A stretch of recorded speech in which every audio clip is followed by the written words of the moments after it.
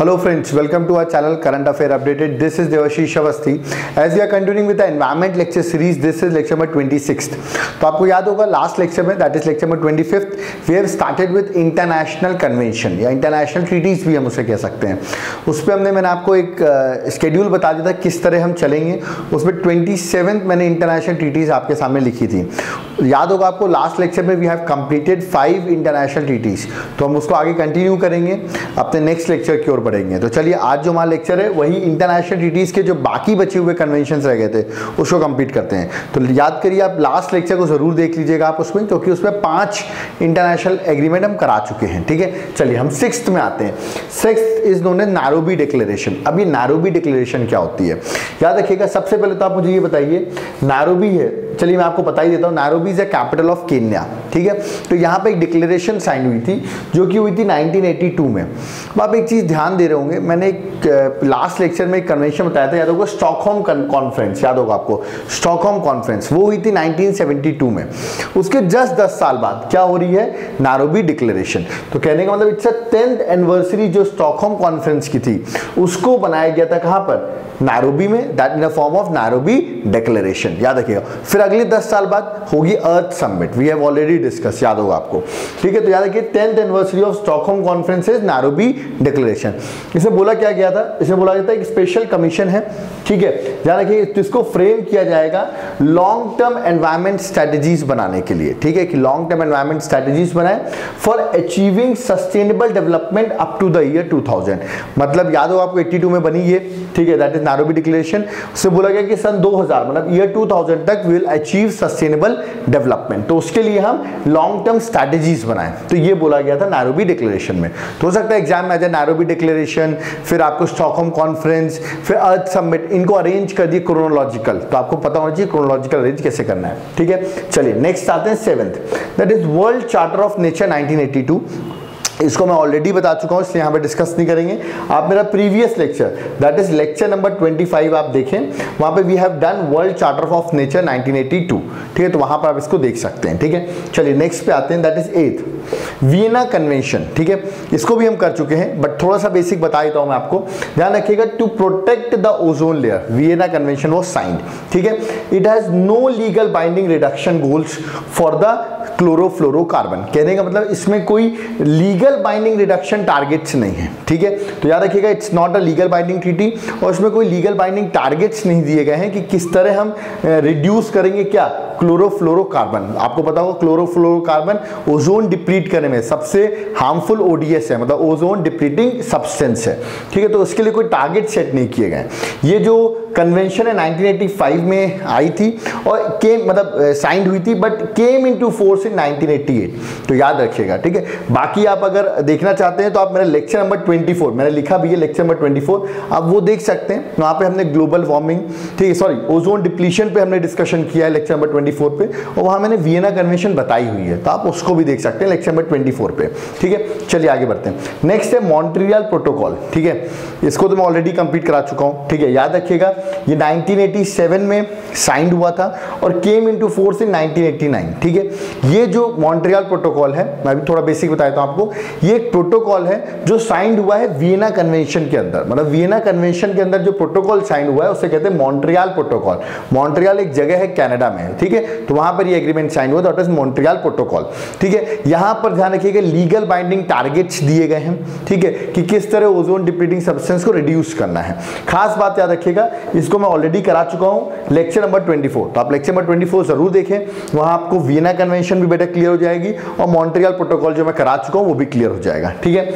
Next जो है Kigali agreement this is also done in lecture number 24 ठीक है? लेक्चर नंबर 24 में इसको भी मैंने कराया हुआ है, ठीक है? किगाली जो है, एक जगह है रवांडा में, याद रखिएगा। रवांडा की कैपिटल है किगाली वहाँ पर ये एग्रीमेंट हुआ है। एक तरीके से मैं आपको बताऊँ कि ट्वेंटी मीटिंग थी, ठीक है? याद कि मॉन्ट्रियल प्रोटोकॉल के अंदर ही ट्वेंटी मीटिंग है that is known as Kigali agreement ठीक है? आपको मुझे कमेंट बॉक्स में बताना है। वैसे मैं ऑलरेडी जो मेरे लेक्चर्स देख रहे हैं कंटिन्यूस उनको पता होगा किगाली एग्रीमेंट आपको कमेंट बॉक्स में बताना है किगाली एग्रीमेंट कब आया था, किस ईयर में आया था, ठीक है? और खास बात यह है कि it is amendment under Montreal protocol मतलब मॉन्ट्रियल प्रोटोकॉल के अंदर एक अमेंडमेंट है जिसको हम किगाली एग्रीमेंट कहते हैं। ठीक है? इसको आपको देखना पड़ेगा। मैं कुछ हिंट दे देता हूँ, मैं एचएफसी से रिलेटेड है हाइड्रोफ्लोरोकार्बन से। ठीक है? तो आप कमेंट बॉक्स में ज़रूर देखिए इसको, ठीक है? और लेक्चर नंबर किसमें देखना है? 24 में। तो आप इसको देख लिए रिपीटेशन है। बस एक बार अपन गो थ्रू कर रहे हैं। जो अपन ने नहीं पढ़ा है उसको अपन थोड़ा ज़्यादा डिटेल में जाएँगे, ठीक है? चलिए तो अपन आते हैं इलेवेंथ में। World commission on environment and development बहुत ही इंपॉर्टेंट कमीशन है। डायरेक्टली लास्ट ईयर यूपी के दो के प्रिलिम्स का क्वेश्चन है ये। तो याद रखिए world commission on environment and development पहली बात ये साइन हुआ था नाइनटीन में। ये कमीशन आया था। इसे हम ब्रुटलैंड कमीशन भी कहते हैं। ये बहुत फ़ेमस नाम है, याद रखिएगा। वुडलैंड कमीशन ठीक है? दोनों एक ही नाम है। ये क्यों फ़ेमस है कमीशन 1987 की। ये इसलिए फ़ेमस है क्योंकि सस्टेनेबल डेवलपमेंट जो टर्म है, इसको ऑफिशियली डिफाइंड किया गया था ब्रुटलैंड कमीशन में। तो पूछा था, ये sustainable development officially defined in which year ये पूछा सकता है तो 1987 आंसर होगा। या किस कमीशन के अंदर? तो ब्रुटलैंड कमीशन बहुत इंपॉर्टेंट कमीशन है। या तो फिर world commission on environment and development तो इसको आप ज़रूर याद रखें, ठीक है? ट्वेल्थ जो है हमारा डायरेक्टली क्वेश्चन आ सकता है। बेसल कन्वेंशन किससे रिलेटेड है? तो देखिए बेसल कन्वेंशन रिलेटेड है on trans boundary movement of hazardous waste ठीक है? अभी trans boundary movement of hazardous waste क्या होता है? ठीक है, उससे पहले मैं आपको बता दूँ, ये 1989 में ये एग्रीमेंट कन्वेंशन आया था और केम इनटू फोर्स इन 1992 ठीक है? अब होता क्या था, मैं आपको बताऊँ, जो डेवलप्ड कंट्रीज़ होती थी, ठीक है? उनके पास बहुत ज़्यादा वेस्ट रहता हजार्डस वेस्ट रहता था, जिसको अपन फॉर एग्ज़ाम्पल न्यूक्लियर के बाय प्रोडक्ट्स वगैरह हो गए। तो हजार्डस वेस्ट को क्या कहता है डंप करने के लिए डेवलपिंग कंट्रीज़ में अपना वेस्ट को डंप कराता था, ठीक है? अब इससे क्या होता है developing country like Asian countries African countries इनको इंपैक्ट होता था। क्यों? क्योंकि अपना जो हजार्डस वेस्ट है, वो किस कंट्रीज़ में डंप कर रहा है? डेवलपिंग कंट्रीज़ में। तो उस हजार्डस वेस्ट की जो ट्रांस बाउंड्री मूवमेंट है, उसी को रोकने के लिए बेसल कन्वेंशन साइन किया गया था। इसमें कॉमन टर्म है निम्बी निम्बी क्या है?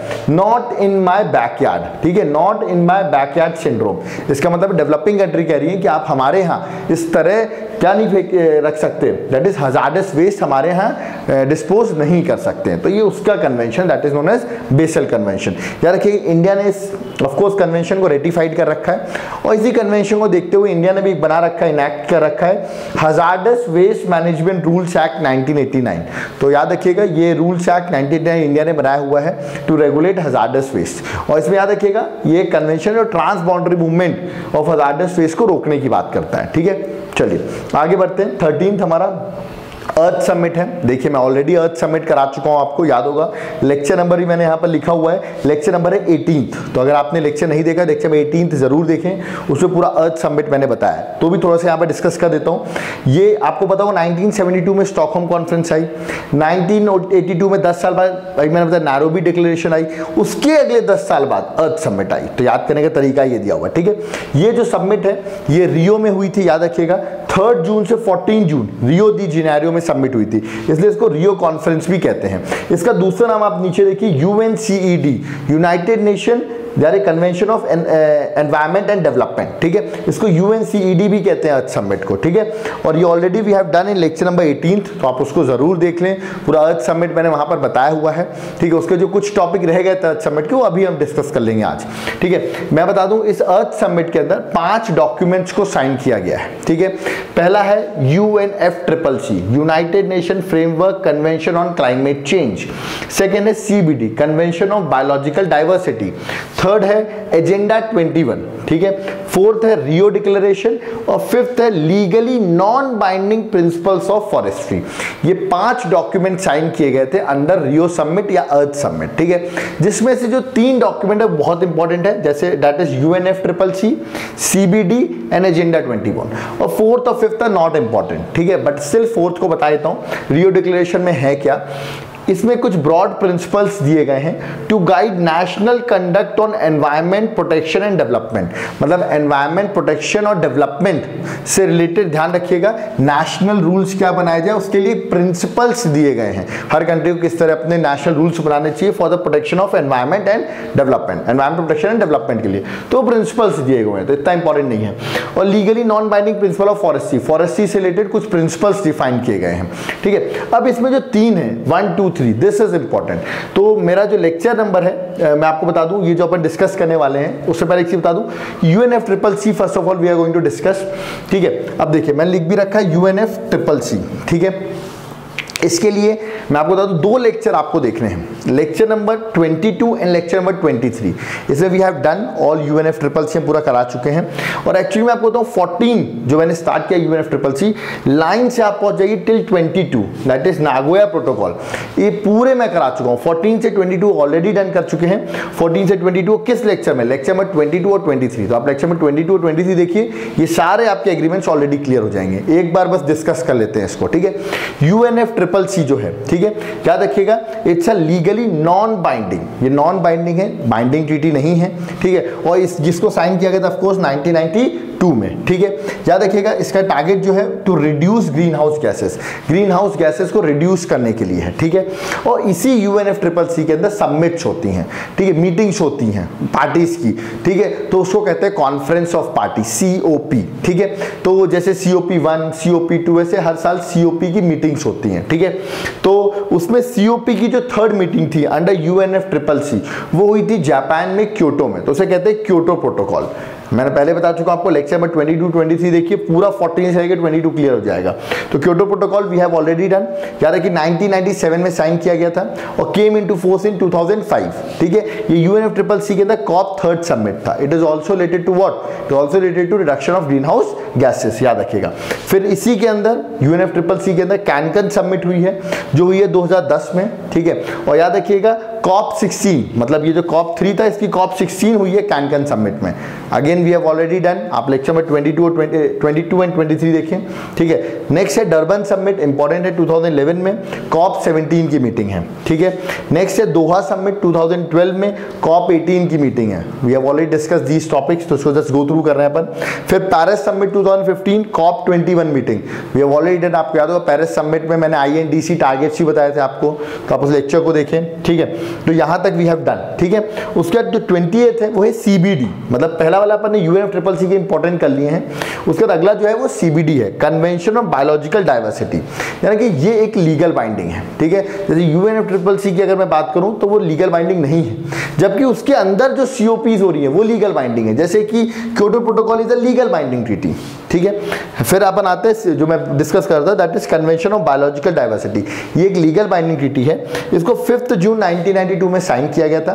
बट ये came into force on 29 December 1993 तो याद रखिए केम इनटू फोर्स इन 29 दिसंबर 1993 अब जो सीबीडी है वी हैव ऑलरेडी डिस्कस आप लेक्चर में 22 और 23 देखिए, उसमें सीबीडी पूरा डिस्कस किया गया है। सीबीडी के अंदर ही कुछ अपने इंपॉर्टेंट प्रोटोकॉल्स हैं इज़ फॉर एग्जांपल पहला है, जो है ट्वेंटी फ़र्स्ट कार्टिंगन प्रोटोकॉल ठीक है 2010 में 2000 में ये आया था सॉरी 2000 ईयर में आया था कार्टिंगन प्रोटोकॉल याद होगा मैंने ये आपको बताया था एलएमओ से रिलेटेड है that is living modified organism से रिलेटेड है। तो प्लीज़ आप लास्ट लेक्चर ज़रूर देखें लेक्चर नंबर 22 23 उसमें क्लियर हो जाएगा आपको, ठीक है?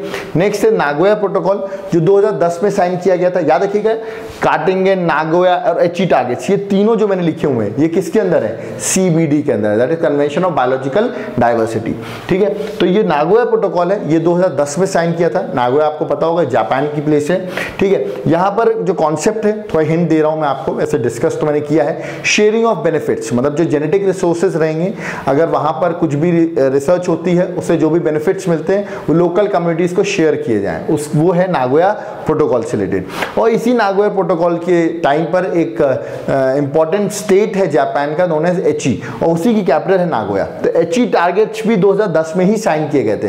इसमें कुछ टारगेट्स रखे हैं जो गवर्नमेंट को अचीव करना है, और ये अचीव जो करना है वर्ल्ड कम्युनिटीज को वो ट्वेंटी तक अचीव करना है. We have already done what are the Aichi targets ठीक है, आप इस लेक्चर को ज़रूर देख लें, ठीक है. नेक्स्ट जो अगला थर्ड मैंने बताया था, तीन इंपॉर्टेंट है, पहले यूएनएफ ट्रिपल सी सीबीडी और जो थर्ड इंपॉर्टेंट है वो है agenda 21 that is sustainable development से रिलेटेड था। पहली बात यहाँ 21 किससे रिलेटेड है? 21 कंट्रीज़ ऑप्शन आ सकता है? नहीं। 21 is related to twenty century पहला पॉइंट तो ये। It is non binding document ये नॉन बाइंडिंग है। ठीक है? तो यूएनएफ ट्रिपल सी अपन ने देखा था। वो लीगली नॉन बाइंडिंग था सीबीडी लीगल बाइंडिंग था। जबकि एजेंडा 21 भी क्या है? नॉन बाइंडिंग है। ठीक है? याद रखिएगा, इसमें एजेंडा 21 में क्या बातें रखी गई हैं? मतलब एक तरीके से फ्यूचर प्लान रखे गए हैं in relation to environment and development ठीक है? एनवायरमेंट और डेवलपमेंट से रिलेटेड फ्यूचर प्लान्स बनाए गए हैं एजेंडा 21 में।